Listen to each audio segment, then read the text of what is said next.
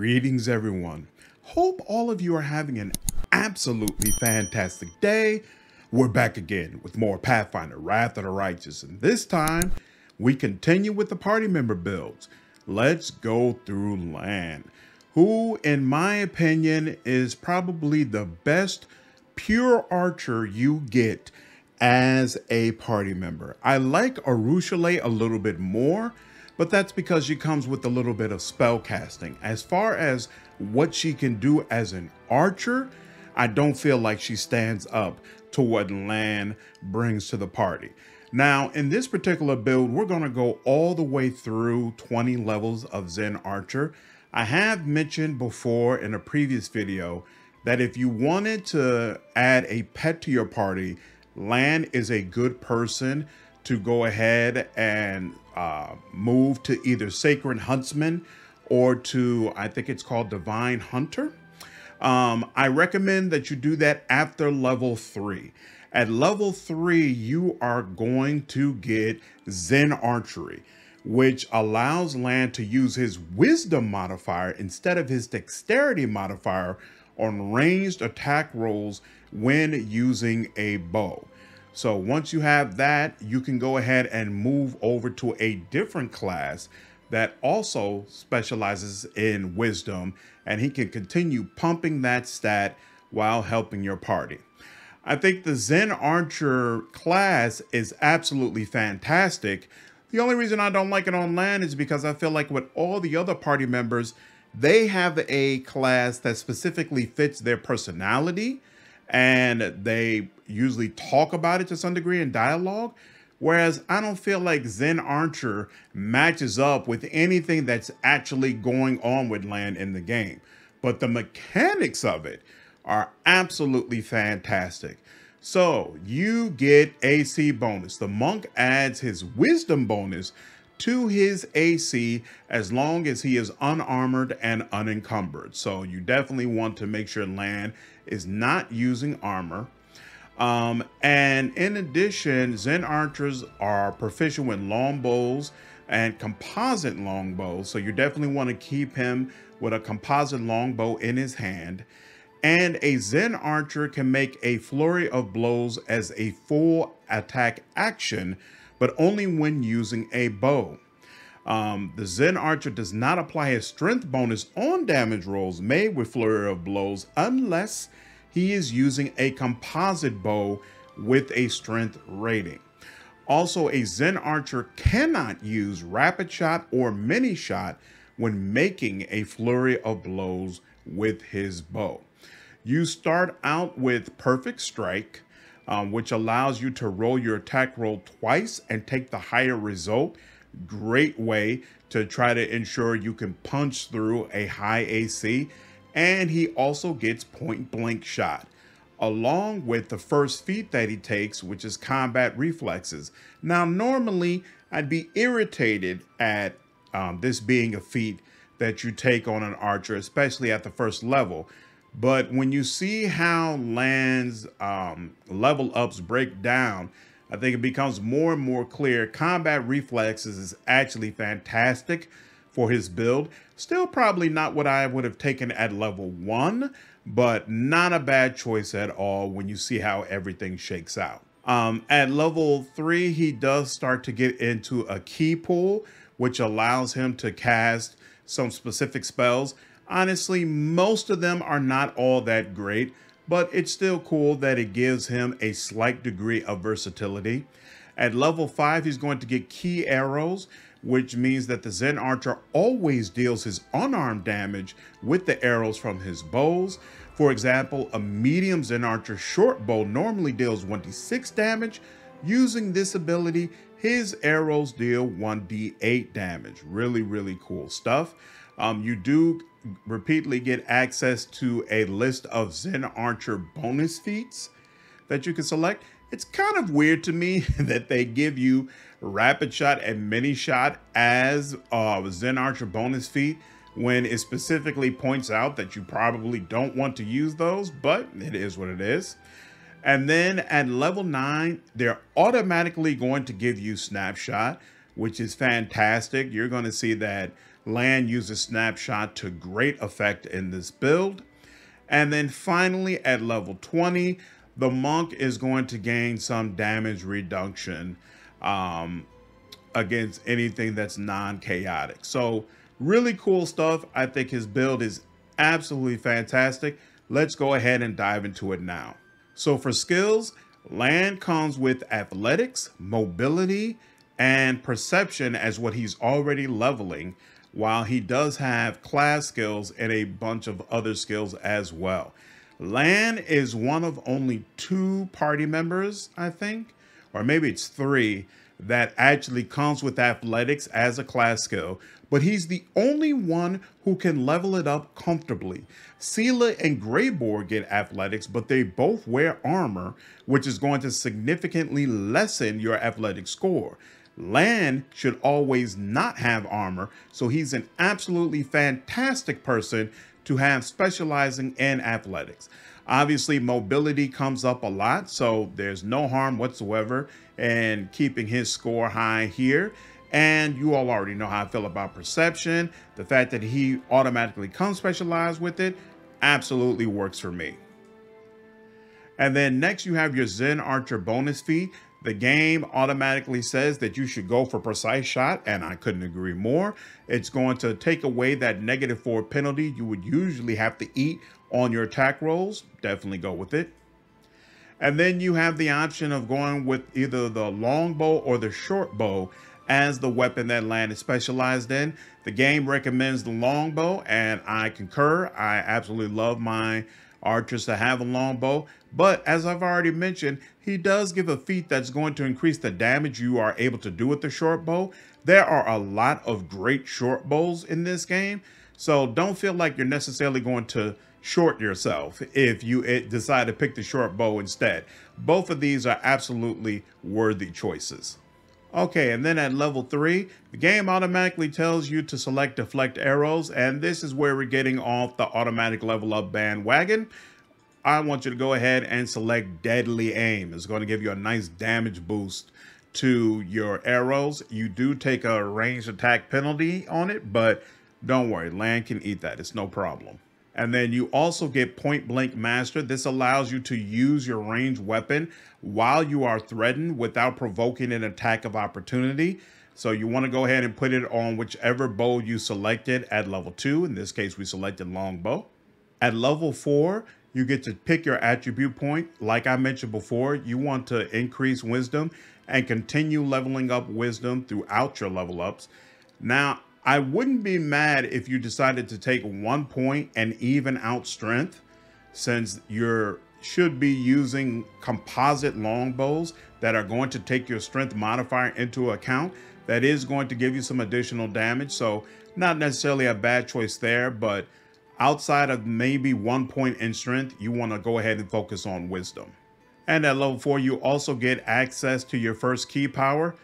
Honestly, I don't think any of these are really all that great. You've got bark skin, but at this point in the game, you're not going to really be close enough to make much use of bark skin. Lann shouldn't be getting hit a lot yet. Um, Scorching Ray, you shouldn't be using um, damaging powers. You should be using your bow. Sudden speed, you're not going to be running around everywhere, so I don't see this as all that great of a boon. True Strike is okay. It's going to give you a plus 20 insight bonus to your attack roll. So if you're facing an especially tough enemy, this could be useful. So I go ahead and take it here. And then for your level 5 feat, you already know what I'm taking. Outflank. All your melee characters, all your archers should absolutely have outflank. It's going to increase your flanking bonus to plus 4. And whenever you score a critical hit against the flank creature, it provokes an attack of opportunity from your allies. This comes up all the time. Great, great stuff. At level 6, for your next ki power, would go ahead and get Bark Skin. You're rapidly approaching the time when Bark Skin is actually really going to be useful for you. And then for your level 6 Zen Archer bonus feat, I get Improved Precise Shot. It allows your ranged attacks to ignore anything but total concealment and cover. I'm sorry, there's one other thing I forgot to mention about Zen Archer. As you level up, it's going to give you more and more ways to overcome damage reduction. So at level three, Your uh, ki strikes allow the monks unarmed attacks to be treated as magic. So basically, your arrows are going to be treated as magic. Then they're going to be treated as cold iron and silver. Then at level 10, they're going to be considered lawful. And then finally, at level 16, they're going to be adamantine. So more and more ways to cut through damage resistance and do more damage towards enemies. At level 7, you have access to get snapshot here. Remember, do not take it. You're automatically going to get snapshot at level 9, so that would be a wasted feat. So instead, we're going to take clustered shots. At level 8 for your ki power, I would go ahead and get Abundant Step. It's basically going to allow him to teleport to a different place. There are definitely some situations where this is useful. At level 9, I take Improved Critical, Longbow. And then you're automatically going to get Snapshot at level 9. At level 10, for your Zen Archer bonus feat, go ahead and pick up Rapid Shot. Again, make sure you don't actually activate Rapid Shot, but it's a requirement to get the next feat that we want. So I suggest you go ahead and take it here. At level 11, you have to have point blank shot, snapshot, and rapid shot in order to get access to improved snapshot. So this is going to allow you to threaten an additional five feet. So with snapshot, it allows you to threaten squares that are within your melee reach with your ranged weapon and allow you to make attacks of opportunity. Improved snapshot is going to increase the space in which you're able to make ranged attacks of opportunity by 5 feet. At level 12, I get Diamond Body, makes you immune to all poisons. At level 13, I get Greater Snapshot. So now this is going to give you an additional 5 feet that you can threaten for attacks of opportunity. And whenever you make an attack of opportunity, you gain a plus two bonus on the damage roll and a plus two bonus on rolls to confirm a critical hit with that attack. These bonuses increase based upon your base attack bonus. Great, great stuff. So when you combine this with the fact that you are increasing Lann's wisdom, which is increasing all of his saves and his AC, he basically becomes almost like another off tank that you can put right up close to the front of the line, getting tons of attacks of opportunity while being very, very sturdy against any enemies who attempt to hit him. And he will not provoke attacks of opportunity even if he's shooting an enemy that's directly in front of him. There are other party members you can try to do this combination with, but none of them do it as well as Lann like Wenduag and Arueshalae, neither one of them allow you to pump their wisdom scores in order to pump their attack scores. So Lann pulls this off the very, very best, and it's a devastating combination to have as an archer. At level 14, I pick up Diamond Soul. It's going to give you spell resistance equal to the current monk level plus 10. At level 14, for the Zen Archer bonus feat, might as well go ahead and finally pick up Deflect Arrows. At level 15, get Critical Focus. Nothing special at level 16. For level 17, get Sickening Critical. At level 18, for your Zen Archer bonus feat, pick up Dodge. And then at level 19, Hammer the Gap. Okay, so now that we've went through the character levels, let's go ahead and look at the Mythic options. For Mythic level 1, it depends on what difficulty you're playing at. If you're playing on normal or something close to that, then I like cleaving shot, which is going to allow you each time you deal critical damage with your range attack or kill the opponent, you deal your weapon damage to all of the enemies in 10 feet. You should be triggering this all the time, so definitely, definitely worth taking. But if you're on a difficulty that's on something like core or higher, it's probably more worthwhile to take ranging shots right from the beginning so that you get that stacking plus one bonus on attacks when you're missing against enemies. And it's going to assist you in hitting those hard to reach ACs. So I usually play on normal, so I'm going to pick up Cleaving Shot. At Mythic level 2, grab Deadly Aim Mythic. At Mythic level 3, whichever one you didn't grab for Mythic level 1, go ahead and grab it here. At Mythic level 4, get Improved Critical Longbow. At Mythic level 5, get Ever Ready. At Mythic level 6, get Flawless Attacks. At Mythic level 7, get The Bigger They Are. At Mythic level 8, me personally, I like Mythic Brew Potions. I think it makes absolutely I think it makes absolute sense based upon Lann's background that he knows how to take herbs and put together potions and things of that nature and knows how to make use out of whatever's around in his environment. If for whatever reason you don't like that choice, then you have point blank shot, weapon focus, weapon specialization. You can pick from any of those to try to continue to develop his effectiveness as an archer. At mythic level 9, grab distracting shots. And then for mythic level 10, you can pick any one of the other mythic feats that I mentioned that you could take instead of mythic brews, or you could go into additional mythic ability and take always a chance so that you don't miss when you roll a one on an attack roll. Okay, so now we're in a combat situation. There's an enemy here, but they haven't acknowledged us just yet. Lann is close to the front. We'll bring him up a little bit closer and then go ahead and take an attack on this character.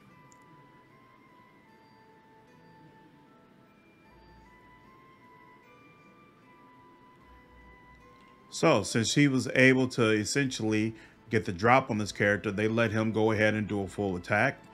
So he did 36, then 47, another 44, and another 46, and ended up flat out killing the character. So if you're the type of player who uh, actually this works in both real time and turn based, but especially in turn based, you want to go ahead and kick things off with your archer oftentimes your archer will take out one to two characters by themselves if they're able to start the fight without the uh, enemy character knowing that they're there. It's very, very powerful and effective. All right, so first we're going to bring Lann up much closer because he is not involved in any of the action. And then we're only going to be able to take a pot shot at one of them, unfortunately. So it does around 39 damage. All right, so just now, this Gibrileth moved towards Lann. I moved the Raptor away to ensure that the enemies had to get closer in order to attack. This gave Lann an attack of opportunity. He dealt four damage. Then he also dealt two constitution damage, uh, probably because of some gear that I have. And then he dealt another 60 damage to uh, this particular character. So great, great stuff. And now he's able to make a full round action. As you can see, he gets six attacks. It'd be seven if he was hasted. And he easily was able to take out both of them, dealing both constitution damage and regular damage to the enemies that he was going up against. And that's with him really not having um, all that great equipment. I did not use Lann for this playthrough. I used Arueshalae, so all this stuff I just kind of pulled off of her. So I don't have very many things that specifically revolve around getting attacks of opportunity, but he's still got a plus five longbow. Um, he's got braces of breaching, which is going to help him when he does a critical hit. He's getting a little bit more protection from a ring of protection, a plus one to attack from uh, when he's using point blank shot. And then, yeah, this skin leather cloak, anytime he lands a hit on an enemy for the first time in a round, they've got to pass a fortitude saving throw of 29, or they become partially skinned, which causes them to become staggered and take two points of constitution drain per round for 1d4 rounds. That's pretty nice. Um, these goggles give them a plus 10 competence bonus on perception checks. And if he confirms a critical hit with the bow, the target becomes disoriented for 1d4 rounds, suffering a negative 4 circumstance penalty to initiative checks, uh, attack rolls, athletic, and perception checks. He's got a plus 6 to wisdom from his headband. His AC is at 37 with um, virtually no um, buffs cast on him. He's also got a plus two insight bonus on attack and damage rolls with ranged weapons against large and bigger enemies, and a plus four bonus on initiative rolls. Um, he's got a uh, plus 10 competence bonus on initiative skill checks, on athletic skill checks, as well as a plus two bonus to attack rolls for attack of opportunity.